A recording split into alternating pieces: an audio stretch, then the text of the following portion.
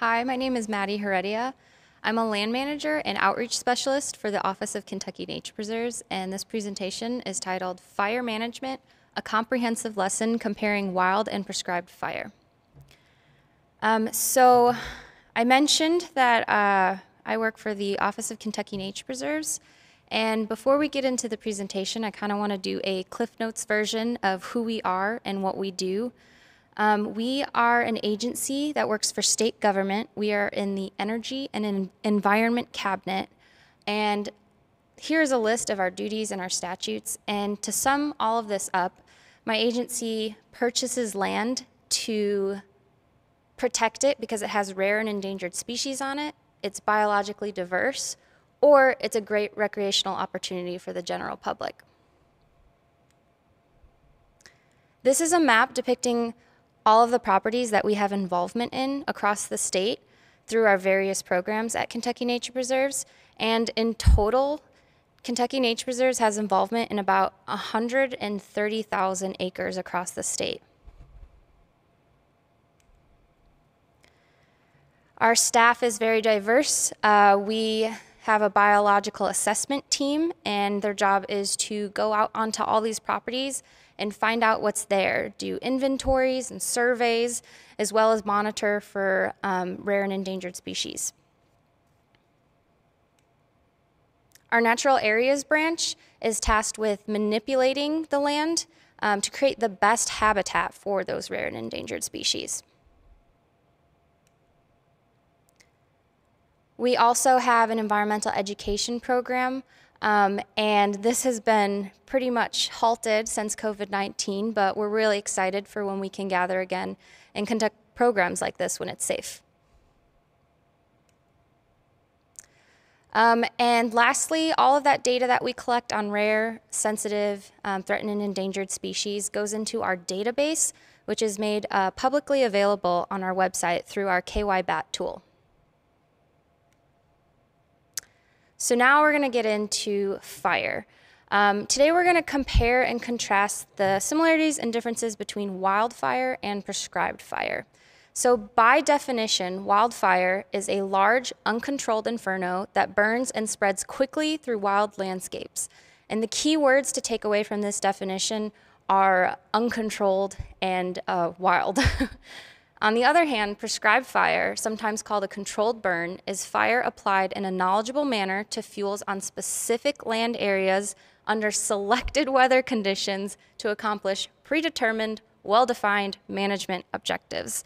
And that is a very long winded, complex, and um, detailed definition because prescribed fire itself is a very complex and detailed process.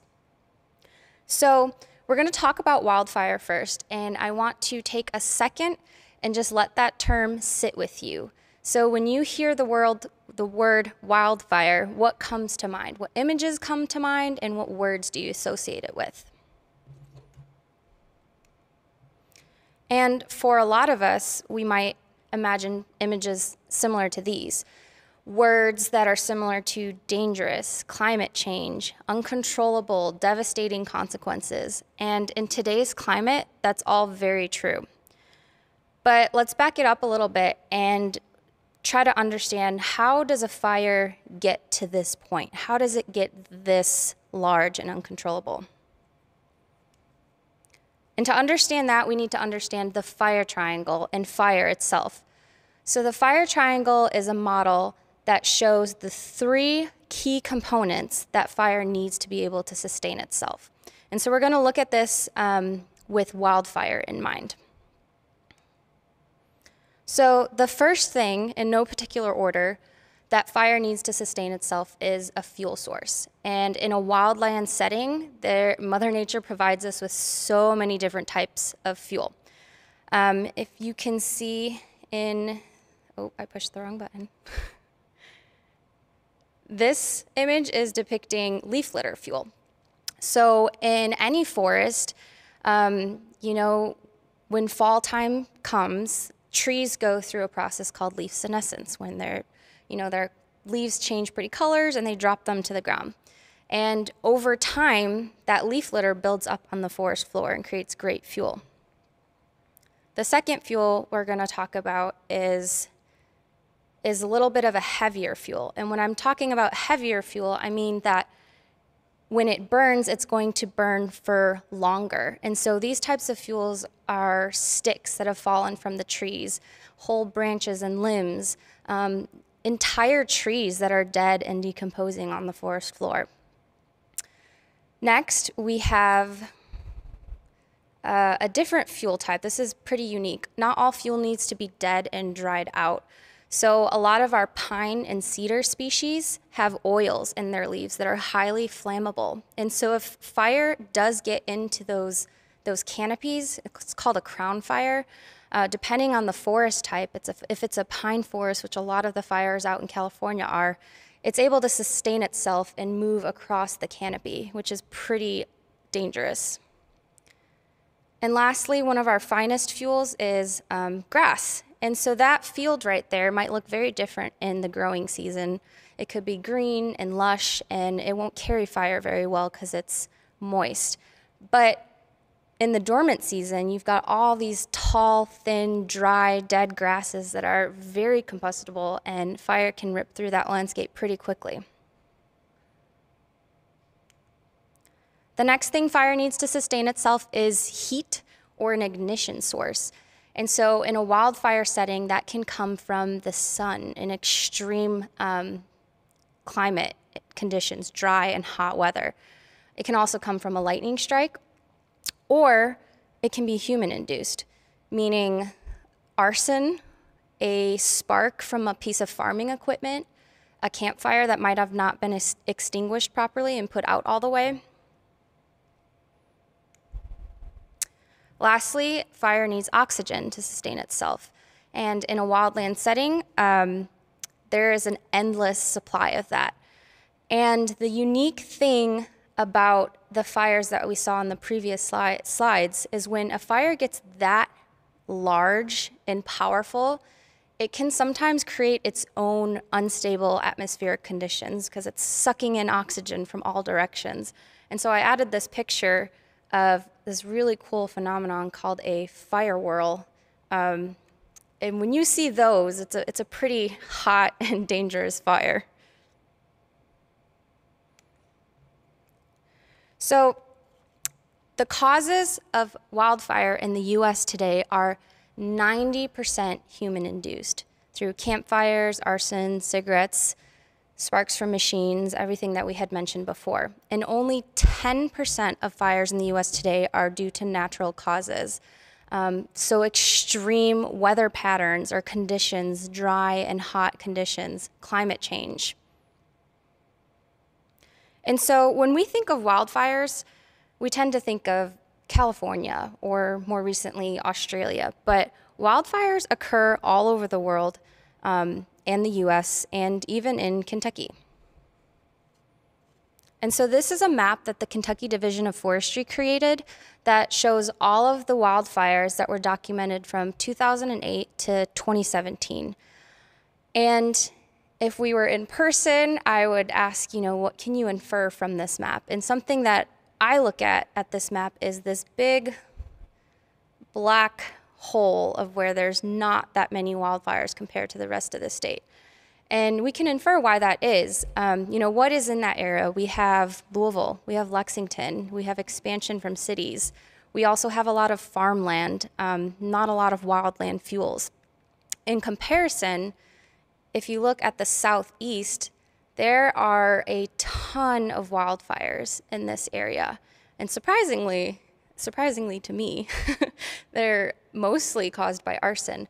Um, but the reason I think that there are so many wild, more wildfires in this area is there's so much more connected fuel. Um, there's more opportunity for it to start and go unnoticed and become um, a big, uncontrollable wildfire. And so now that we've talked about wildfire, we're going to switch gears and talk a little bit more about prescribed fire, which, as you recall, is a controlled burn um, applied in a knowledgeable manner to, with specific uh, parameters to accomplish predetermined, well defined management objectives. And so, what are these objectives or goals? Why would we purposely set fire to a wild landscape? Well, there are many reasons that we want to put fire on a wild landscape. It enhances wildlife habitat. Many species of plants um, depend on it for seed germination. There's also specific species of plants that depend on fire in, in order to germinate. And when I say germinate, it's just the process of when a seed is rooting and, um, and sprouting and becoming a seedling. And so there's a specific species that has um, their seeds are sealed in resin, and fire is needed to break that seal in order for them to germinate. And without fire, they wouldn't survive. Another reason that we want to put prescribed fire on the ground is for fuel reduction. We talked about leaves um, on the forest floor and trees dropping their leaf litter and all this fuel that falls to the forest floor over time. Wildfire used to run through our landscapes prior to our settlement. And so once humans were introduced into the picture, we began suppressing fire. And so all that leaf litter, all that fuel that was on that forest floor, now has the opportunity to build up over time and just create a huge bed of fuels. And so when that catches fire, it's 10 times more dangerous. Um, so to try to prevent that, you can do routine prescribed fires through the landscapes to try to minimize that fuel. Every couple years, go in and burn it and try to reduce some of that so that it does not become those catastrophic fires that we saw in the first slide. Now, this won't prevent wildfires. Um, wildfires will always exist. We always have conditions for it, and they're becoming increasingly more dangerous with climate change. But it will help the help the intensity and um, make them a little bit easier to control. Prescribed fire can also be used to control unwanted species and invasive species. Um, in this picture down here, we are using prescribed fire on one of our nature preserves to try to remove some of those cedars that are not supposed to be growing in a, a woodland savanna kind of open canopy habitat. And lastly, prescribed fire can be used to promote disturbance for the species that depend on it and promote native vegetation. There's a lot of species, especially in the bluegrass region, that depend on this open canopy system. Um, and without fire, to create disturbance through the landscape periodically. Um, a lot of woody species kind of take open take over these open grasslands and without fire to knock them back every couple of years the the forbs and the grassland species and all the species that are growing on the forest floor um, would not be able to survive and so I talked about fire um, not being a new concept and wildfire running through the landscape over many, many, many years. And so I just want to look at our biodiversity in Kentucky and show you what Kentucky used to look like prior to European settlement. And so in this map, you can see many habitat types. Um, and those habitat types are broken down even further based on geology and soils, but for our purposes, we're just going to look at these. And Grasslands were a lot more prevalent back then, wetlands were a lot more prevalent back then, and we had a lot more connected pre settlement forest land. And so Kentucky now looks drastically different. Um, and we lost a lot of our habitat types and our habitat coverage. And a lot of it is um, due to farming, urban sprawl, coal mining, as you can see in that photo. And when we lost all of that, that habitat, we also lot of the, lost a lot of the species diversity that came with it. So what are some of the causes of that habitat loss? Well, we already talked about settlement, um, farming, urban sprawl, loss of routine disturbance, such as fire suppression that I touched on a little bit earlier. Um, another thing that causes disturbance um, that kind of does the same thing as fire uh, is large mammal migrations. And so prior to European settlement, we had large bison migrations that would run through the landscape that really depended on disturbance. Um, and before that, the mastodons. And we don't, we don't have that anymore. Um, and lastly, uh, invasive species, the introduction of those. This picture down here is a woodland edge habitat. And that bright green plant is called Japanese honeysuckle. And as you can see, it has completely taken over the mid understory. So under those green bushy plants, there's not a lot of sunlight. And so anything that was on that forest floor um, that used to exist is not getting the sun it's needed and it's going to be outcompeted.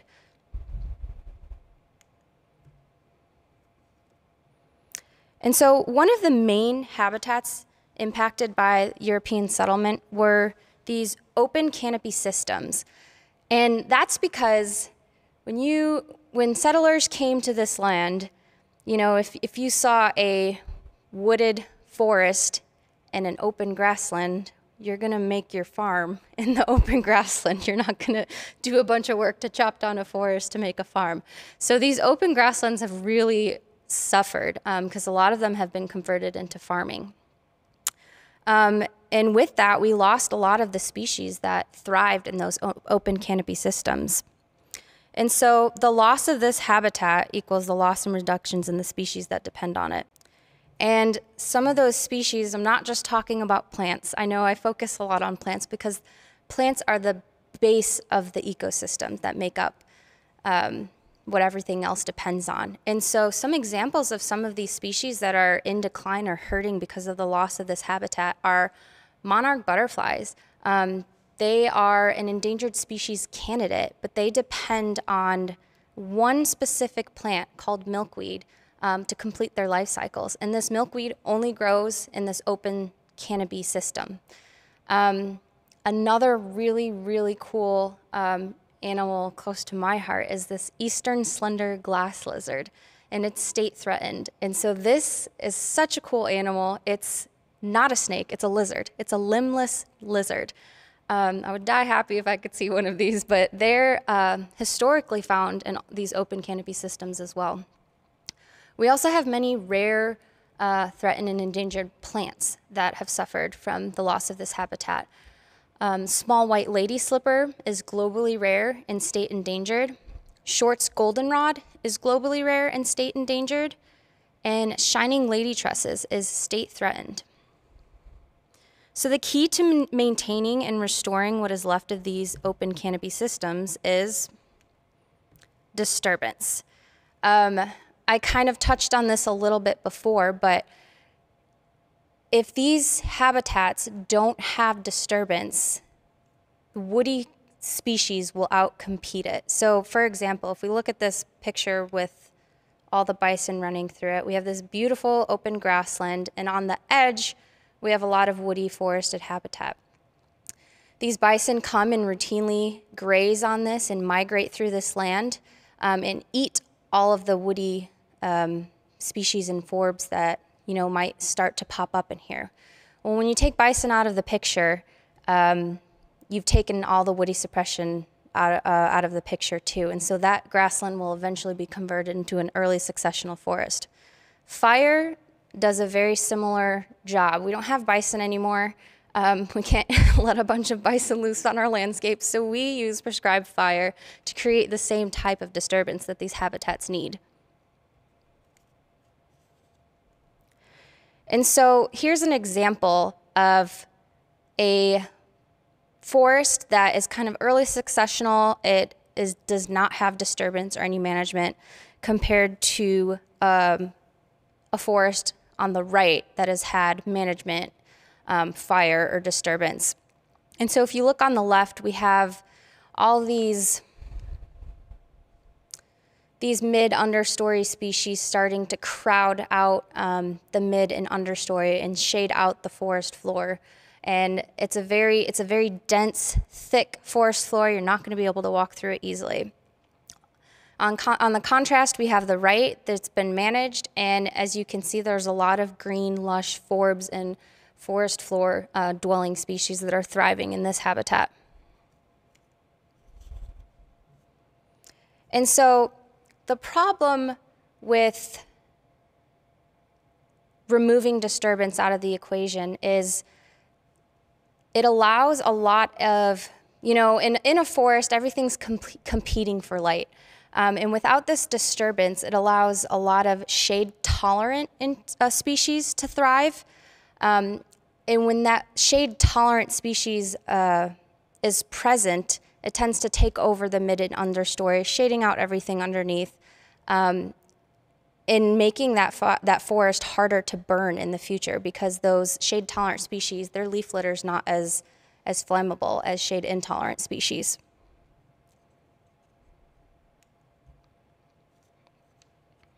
So an example of specific habitats that depend on fire that we have here in Kentucky, um, one is the shortleaf pine system. Uh, we have some properties in the southeast that we're trying to restore shortleaf pine forests on. And the interesting thing about this species of tree is that it is, it is fire dependent. Um, there are so many studies and research shown that this species of tree has many traits that prove um, fire is part of its life cycle. So these traits give this species the advantage when uh, a, a, wildfire ran through the landscape historically. Um, so for example, if a wildfire ran through this landscape, a lot of the oaks and its competing species were not able to survive. And that gave shortleaf pine the opportunity to grow up and be mature and be the dominant tree in that, in that forest. Well, when you take fire out of the equation, it no longer has this upper edge. And so all those other species outcompete it, and there's not that many shortleaf pines left. Another example, um, a specific example of a property that depends heavily on prescribed fire is one of our sites called Crooked Creek State Nature Preserve in Lewis County. Um, and this is a, a, more open canopy system. It's a it's a oak barren community, and on the left, you can see that we burned once in 2002. There's still a lot of woody stems and species that are trying to grow in this open habitat. And then on the right, we burned again in 2010. And that leaf that kind of looks like a shovel is called prairie dock. And it's actually a really great indicator species that this habitat used to be once more open than it was today. So there's little clues that we can we can find in our habitats and our landscapes that tell us that this land used to be something else. And that kind of helps us justify and try to convert it back to that. And so here's what Crooked Creek looks like today. And there's a, here's a lot of photos of the species that um, that benefit from this habitat. Again, you can see that there's you know, there's still forest edge and there's still a few cedars, and that's fine. That's the type of habitat um, that we want. However, if we were to completely let this property go, not do anything to it, uh, never look back, these cedars eventually would take over and you would not have any of this grassland habitat. So fire gets a bad rap. And it's understandable, especially if we go back and we look at those pictures that we saw in the very beginning of our presentation. Um, but again, I want to reiterate that it's not a new concept. Putting fire on the ground to promote, um, you know, native species is not a new concept. There's historical vegetation that shows and proves that, you know, fire was on this landscape at one time and like we saw with the shortleaf pine, some species absolutely need fire to exist. We have records in current vegetation that show us that, you know, fire was on this landscape. Um, in this bottom right corner, you can see a tree ring. Um, and I'm sure you are all familiar with this, is how you can tell the age of trees, but you can also tell a lot more than just the age of the tree. You can tell when it had a lot of stressors in its life. Um, based on how far the rings are apart, if it was able to grow a lot during that season or less. Um, and you can also see these big black rings, and these are fire scars. And so you can take a cross section of a tree and tell exactly like there was a fire, a wildfire or prescribed fire in 1843 here, and then again in 1856. And lastly, um, indigenous people and the Native Americans used fire. Um, there's lots of history and records that show that they used fire to help uh, promote the growth of their crops on the landscape. And so, another reason I think that fire gets a bad rep is people don't necessarily understand it that much, and there's there's a lot of questions. Um, and so, you know, one of the biggest things is, you know, what, what happens to animals during fire? Um, are the plants okay? Like you're burning them up. Like what happens to them? Well, we seasonally plan our fires to have the, to make the to have the least amount of impact on the native species that habit that land. Um, and so, surprisingly, a lot of the species um, burrow, and so they are well adapted. Uh, like I said, fire's been running through this landscape for years, and their species are okay. They've been able to survive. They have a way to escape. Um, birds can move, uh, insects can fly away, uh, turtles, snakes, small uh, mammals, they can all burrow underground. Another thing we do when we're planning our fires is we provide refugia, meaning if we have a giant property um, and we want to conduct a prescribed fire on it, we're not going to burn the entire thing at one time. We're going to burn sections. Maybe we burn a couple acres over here this year, and then the next year we burn a couple acres over here. And that allows refuge for insects and reptiles and amphibians and small mammals to get away and still have habitat. Um, so we're not just burning up all of their homes. Um, and then the lastly, the last thing I kind of touched on already was adaptation. Um, this is not a new concept for them either, and they've been dealing with this for years. And so another thing that's important to uh, understand is it's a process. It's, you know, the picture here on the left is during the prescribed fire, after, it looks pretty terrible, you know, especially on some of these public places that we do prescribed fire. Uh, I get so many phone calls saying, like, what did you do? It looks terrible. But it's a process, and it's going to take a while before you get the results of um, this picture on the right, which is this was taken just one growing season after the fire, and it's already flourishing with a bunch of um, native species for pollinators. So the other thing about prescribed fire is that there is so much planning that goes into it. If we think back to that really long, complex definition, um, we try to manage for everything. Uh, we don't leave anything up to chance that day. We have contingency plans. We notify the fire department. Our staff is very well trained and educated um, we know what type of habitat we're burning. We know about the fuels. There's so much research that goes into the fuels, and um, there's an entire academic like discipline related dedicated to fire science. You can get a PhD in fire science. It's it's such a, an interesting um, thing to study. So the first thing we do is we identify our location and goals. Um, we don't just put fire on the ground because it's pretty and it's fun and looks cool. we burn it for reasons. And some of those reasons I mentioned um, earlier, you know, habitat restoration, seed germination, helps with invasive species, um, fuel reduction. And so those are some of our goals um, that we identify in the very beginning.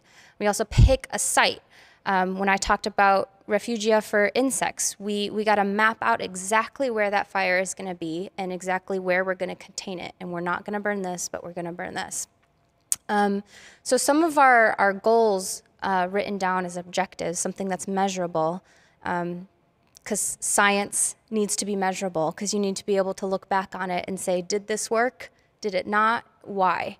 Um, and so for an example, one of our burn plans might say, our goal is for 80 percent consumption of fuels, 30% um, top kill of woody species. Um, and that goes into a burn plan. Um, so this is identifying the site. Um, we don't just put fire on the ground and hope it stays where we want, we want it to. We create this thing called a fire break. Um, and so that's depicted on this map by the red line. So everything within those red boxes is going to be burned and everything outside of them is going to be excluded. And a break is exactly what it sounds like. It's a, it's a break in the fuels. So if you look on the right, this is one of my coworkers lighting off of the break, which is this big mown path right here. And as you can see, when he puts the fire on the ground, it's it's traveling into the fuels. Um, it doesn't really have anywhere to go uh, because we have removed the fuels. Um, here's another picture. This is another coworker that's installing the fuels. And so when we light fire, this is going to be the, you know, the the unit, and this is going to be everything that we're going to try to avoid. And so these breaks need to be pretty well established and and large and down to bare dirt because we don't want any fire trickling out and you know catching the neighbor's field on fire or some somewhere we don't want fire to be. And so we're going to revisit our friend the fire triangle again, but this time we're going to look at it um, talking about prescribed fire. So when we talked about fuel um, and all the different types, in a prescribed fire, we research those fuel types. We, we learn about, you know, what kind of fire behavior are we going to get if we burn this type of fuel? Again, it's an entire education educational discipline. Um, heat. We are providing the heat source. Um, this tool right here that um, this person is using is called a drip torch. And inside that canister, there's a mixture of diesel and gasoline and it's a controlled way to put fire on the ground. It looks like a flamethrower, it's not. It literally just drips little drops of fire as you go. Um, so that fire that is behind her uh, is all that's just burning fuel. That's all on its own. We didn't throw gasoline on that. um, and lastly, oxygen.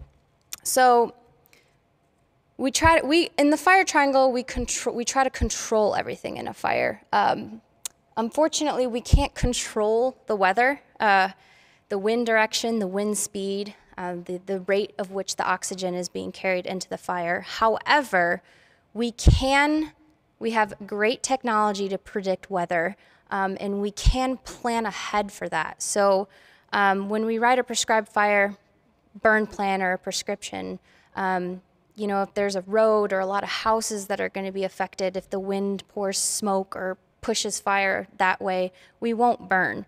Um, so in this sense, we can't control the oxygen aspect of the fire triangle, but we can plan ahead to have the best results.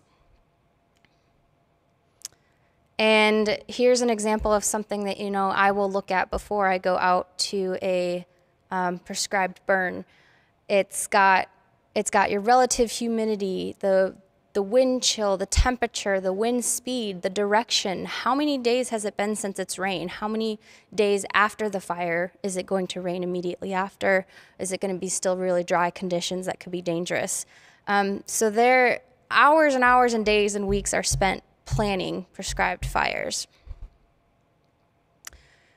We even think about not just the fire itself, but the smoke. Um, is the smoke going to be pushed out onto a road that's super hazardous, hazardous for people driving on it? Um, are there any schools or places where there's large gatherings where smoke might be an issue uh, if it travels that direction? Um, we plan ahead for all of these things. And so, all of those factors that I talked about and much more, because I can't get into every single one of them, go into a burn plan, is what it's called. And so, like a doctor prepares a prescription for a patient for specific results, a prescribed fire has a science based prescription prepared for it. And that's what we call it for. Uh, we, that's what we call it a prescription. And so, once we research all of those factors, and we decide what's best for not only our management goals, but for safety and for the surrounding habitat, we put it into a prescription. And so an example of one of these on the right is, you know, our prescription says that we want the wind that day to be between three and eight miles per hour, and it has to be coming out of the southwest. Um, temperature within 32 to 75 degrees, relative humidity, the type of fuel.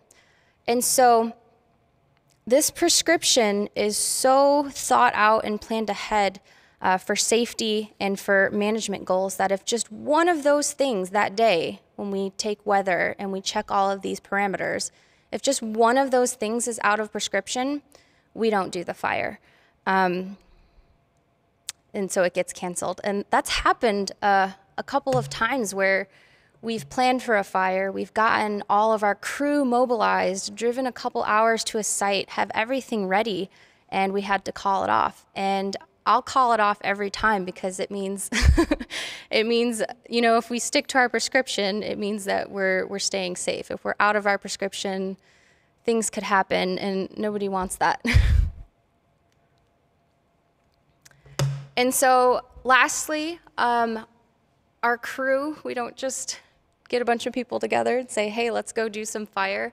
Our crew goes through some pretty rigorous training um, and gets certifications, and we go through a pack test to be able to test physical ability on a fire.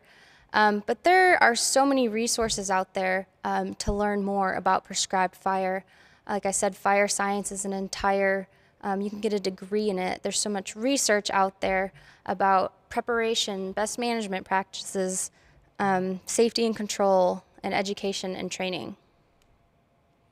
And so, with that said, I'm going to plug in the Kentucky Prescribed Fire Council, which is a, a group of profess- professional conservation agencies and uh, private conservation agencies that uh, come together and try to use and share resources for prescribed fire. And so I'm actually a committee chair on that council. And if you have any interest in learning more about prescribed fire or learning about training, um, you can contact me or visit our website, which is um, listed on the screen. The top is Nature Preserve's website, and the bottom one is for the Fire Council.